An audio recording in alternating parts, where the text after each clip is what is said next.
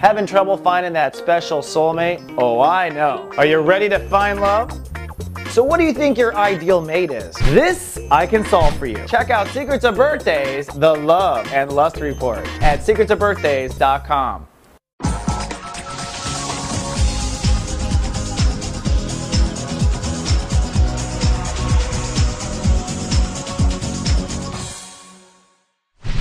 Hello, my captains, and welcome now to Thursday. Sunny, creative, childlike, and playful. That's my prediction today for the Capricorns. This is an excellent play date. The moon is in chapter 3 of Taurus, and the sun has no ruling planet.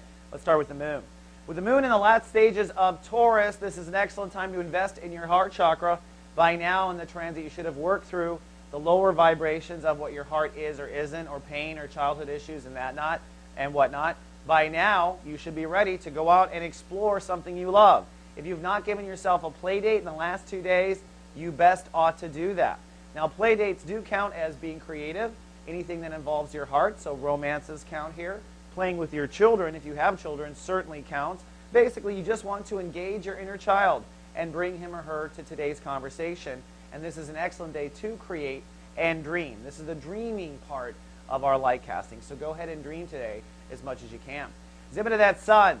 Like I said, we're in chapter 3 of Sun in Pisces. There's no ruling planet. And this month, the Capricorns are working on their thoughts and attitude.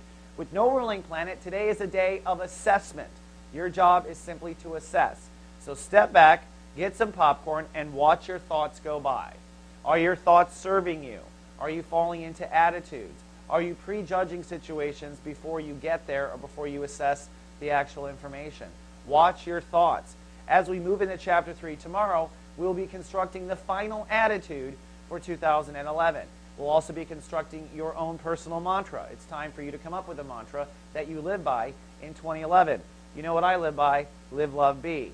Come up with yours, but assess today to see what final touches you need to put on the negative aspects of this transit. And Venus, Venus moves into chapter 2 of Aquarius. Venus is the creation vibration, sending love and creative thinking to a situation. Venus is helping you love and create abundance. You have another couple of weeks now. If you've been thinking about a project, a new piece of artwork, manifesting anything, you're very fertile. This is a time of planting seeds of flowers that will grow into fruit for your soul garden. So I highly recommend you move forward with these creative projects. And if you're looking to make more money, this is the time to at least plant the seeds that will lead to it. You might want to have a preliminary conversation with human resources about how you're about to get more expensive.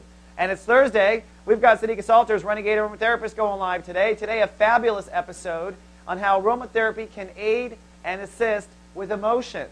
We get caught in our emotions sometimes, and the flower power of the plants on Earth are a lot more effective than Xanax or pharmaceuticals. See what Sadiqa has to say and see if there's a plant out there that will help you with something you fall into emotionally. Sadiqa is live and wise everywhere Soul Garden streams. All right, my captain, that wraps up today. Tomorrow, some good news about Mercury. Until tomorrow, live, love, be. So.